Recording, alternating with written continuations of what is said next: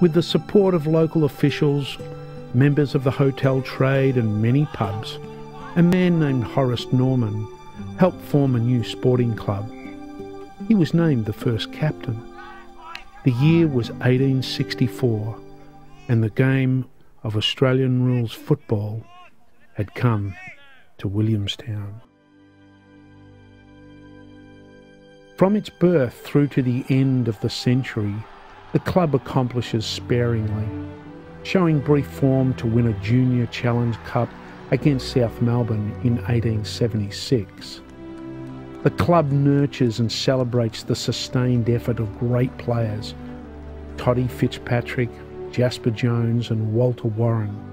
However, struggling to sustain any feat of triumph, and in a game versus Footscray in the last year of the century, Williamstown records its lowest ever score, kicking only three behinds.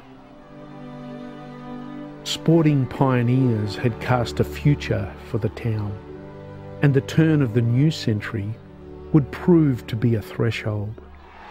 The challenge now was to create something the village could stand by, something to aspire to and be proud of, something to hold close and guard, something to call their own.